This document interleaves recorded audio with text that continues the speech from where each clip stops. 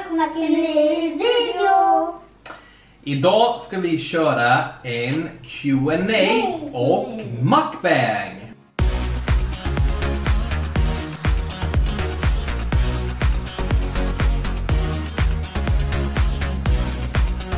Yes! Mukbang. Ja, mukbang eller mukbang, jag är inte så van de här uttrycken. Mukbang. Men nu är det ju så här att Alicia, stackaren här, har ju brutit armen. Och vad är din favoritmat? Sushi. Sushi ja. Så därför tänkte jag att vad passar då bättre än att vi såklart ska äta sushi? Man säger det mukbang, inte muk... Vad sa du? Jag sa nog mukbang, men då säger vi Mukbang. mukbang. Ja, vi kör på det. Ja. Och som sagt då, Alicias favoriträtt är sushi. Sushi. Och jag ville ha sushi idag. Ja, och jag vill göra dig lite extra glad eftersom att du har brutit armen, men du är så stark. Och då hade vi ju sån tur. Så att nu har de öppnat ett nytt ställe i Limhamn. Sushi Rebellion har ju också öppnat nu i Limhamn då. Och det roliga med det här, vet vad det är? Han som har startat Sushi Rebellion och äger det, han har vunnit sushi-VM i Japan. Ni som tittar, ni undrar säkert, vart är mamma? Jag är här bakom kameran och filmar er idag. Så då får vi öppna upp och se om eh, hur sushin ser ut. Men du, glöm inte heller att tumma jättegärna upp den här videon. Och om ni inte prenumererar så får ni jättegärna göra det. Då är det dags för er att börja svara på frågor och käka lite sushi. Ja! Och så här ser den här sushin ut. Det var en variant på sushi. Och så här god ser den andra sushin ut. Mm, vad gott. Då får ni käka igång här nu då så kommer jag ställa frågor till er. Yes. Nu ska vi prova den här. Oj, första gången. Hur ska man ta lite soja? Ett par. Mm. Mm! Det var jättegott. Riktigt gott. Märker ni att det är den bästa sushilagaren som har gjort det här? Sushikocken. Mm. Bästa. Mycket smak alltså. Mm! Den är jättegod. Mm. Skulle ni säga att det är den bästa sushin ni har ätit? Ja. Ja, ja. Vilken tur då att den här sushin har kommit till Limhamn där vi bor. Jag ska smaka den här. Mm. Mm. Den här var inte sant. Helt sjukt gott. Mm. Sushi Re- Rebellion hette det va? Sushi Rebellion ja. Mm. Men de öppnar precis här i Limhamn va? Ja, man fanns i Malmö innan men inte Limhamn. Så Nej.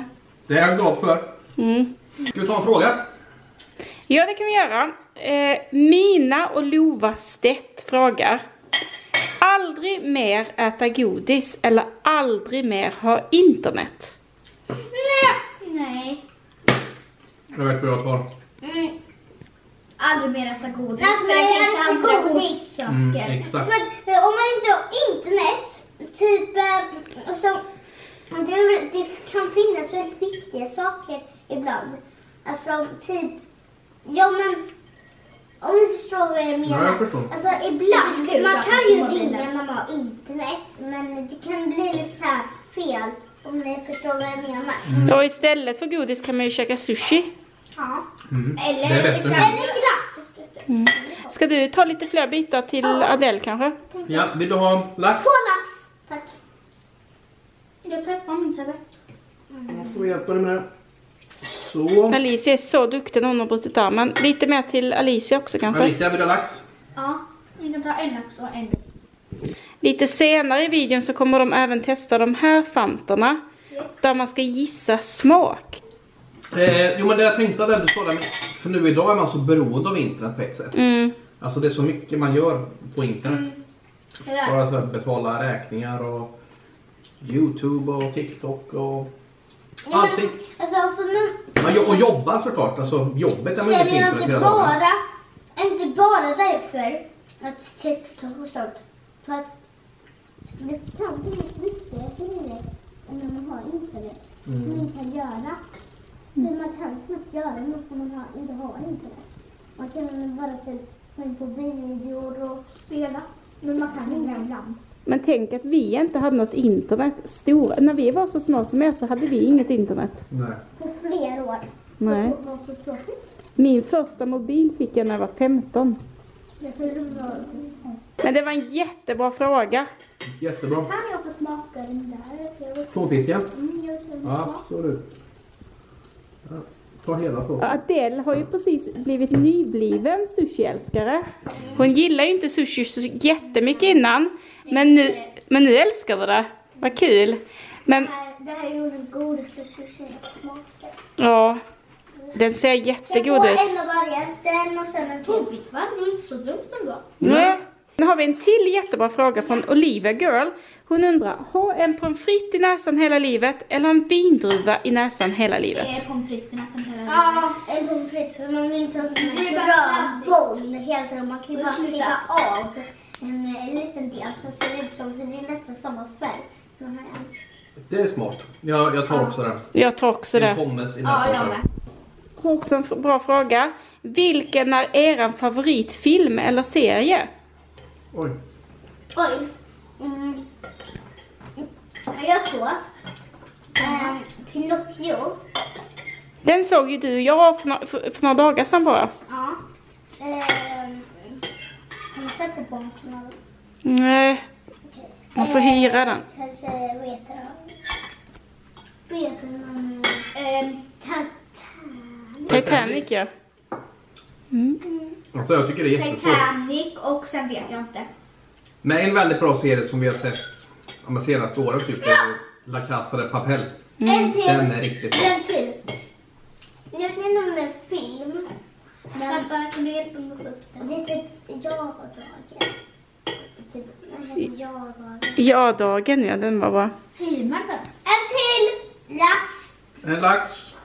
Du brukar inte vara så stor i maten Adele. En tonfisk med. En Men eh, nu äter du så det knakar. En panko. Är det här nya favoriträtten kanske? Nya fredagsmyset. Eh, då har Emilia en jättebra fråga till dig Adele. Aldrig mer få dansa eller aldrig mer få sjunga? Lätt. Aldrig få dansa. För du älskar ju att sjunga. Ja, men för då kan man stå på scen och sjunga och bara slippa ur. Det är sak som ni inte får missa. Och det är 24 juli. Då kommer jag uppträda i Sjöbo. Och det får ni inte missa. Så snälla kom dit. Nej, det får ni inte missa. Nej, det, skulle jag bli jätteglad. och ni hittar även alla låtarna på Spotify. Ni hittar alla låtar på Spotify och ni hittar även alla musikvideor på eh, Youtube. Så den 24 juli i Sjöbo får ni inte missa att komma och se Adele uppträda. Jag är törstig. Du är törstig. Eh, det är ju så här att ni har de här Fantorna och vi tänkte testa den här smaken idag. Den är den blåa. Det finns ju olika färger för olika Fantor man kan gissa på. Och nu har vi den här blåa. Så jag har köpt tre stycken sådana här som ni kan dricka ur och så kan ni försöka gissa smaken. Men vet du vad jag såg nu? Nu är redan all sushi slut. Hur många bitar var det? 32. 32 bitar. Ni har redan ätit 32 bitar. Men då tycker jag att vi plockar undan tallrikarna och så testar vi fanterna.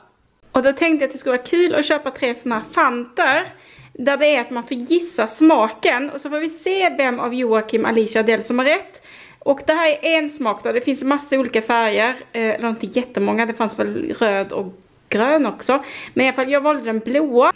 Så i alla fall den här Fanta-smaken finns antagligen inte utan det kan vara allt ifrån vad jag läste förra året så var det typ tomat och gurka och allt möjligt. Så att man får typ gissa på vad det smakar. Men innan ni dricker första klunken så tänkte jag att vi ska eh, ta en till fråga. Och det är från Yumi och Tumi, Tommy Fan Club.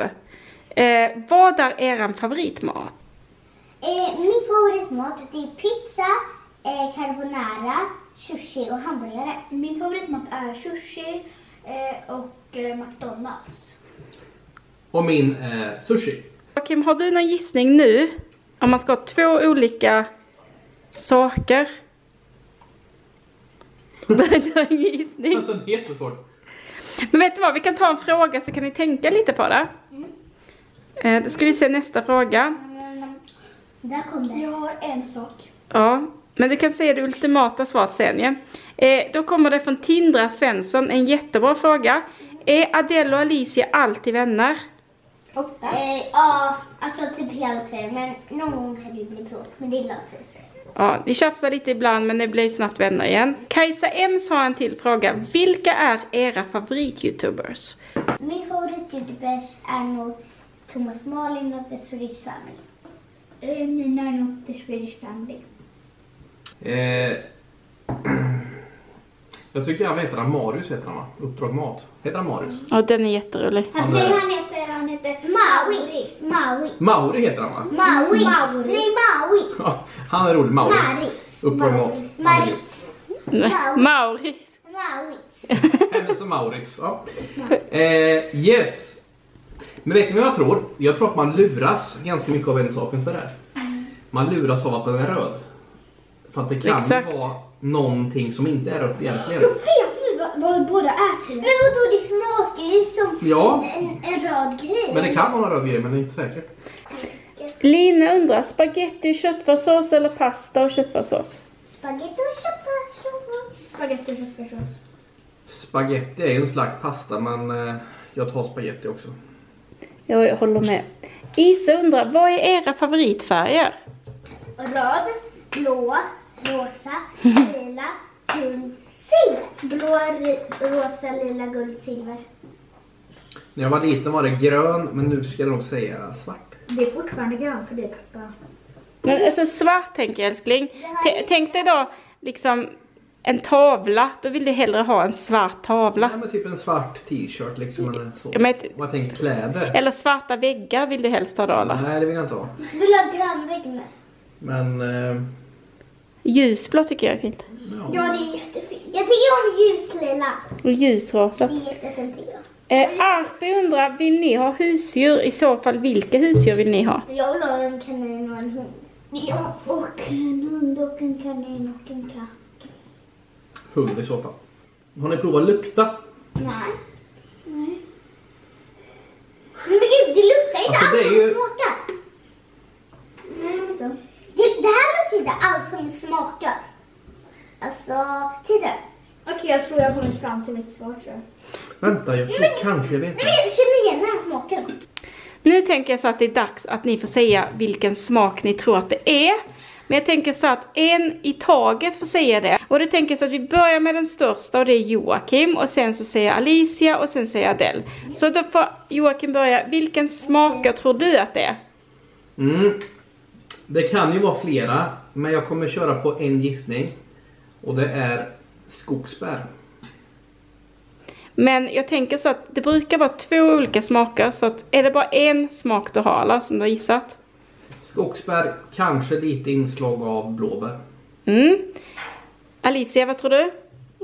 Jag tror det är sånt där som Loka innehåller, och så Ramlösa och så. Mm. Eh, och så tror jag att det är äpple, för jag har tänkt väldigt mycket på det. Mm. Alltså jag tror att, eh, för jag tycker att det luktar väldigt mycket som päron. Mm. Och sen tycker jag att, jag tycker att lukten och smaken är inte samma. Mm. Så jag chansar att lukten, det är päron. Så då tar jag päron. Och eh, smaken, det är typ hallon. Så jag tar hallon och päron. Spännande. Så, nu vet jag svaret. Och pappa gissade ju på Skogsbär och och blåbär. Blåbär. Och vad gissade du på Alicia? Jag gissar på äpple och kolsyra. Och vad gissade du på? Päron och hallon. Ja. Ingen av er hade rätt. Utan den ena smaken var ananas. Va? Va? Va? Och den andra smaken var hibiskus. Vad är Vad det? är det? Det är en blomma. Nej! Jo, så det, smaken det här året är alltså ananas och hibiskus. Det luktar annat. Nej, det luktar ingenting. Nej. Det här smakar inte alls. Det här smakar hallon. Det här smakar hallon. När de säger det så smakar det faktiskt lite ananas. Nej. Nej, det, nej, det luktar... Ja, det var en hibiskus. Det här skulle vi aldrig kunna gissa oss till. Jag brukar inte äta blommor men... Men därför tänkte jag inte på den. Hur kan jag inte tänka på ananas? Mm. Trodde att någon av oss skulle ha rätt. Mm. Kom här bara. Tack för att ni har kollat på den här videon! Och glöm inte att tumma jättegärna upp den här videon. Kommentera något kul här nere. Och om ni inte prenumererar så får ni jättegärna göra det. Hej då!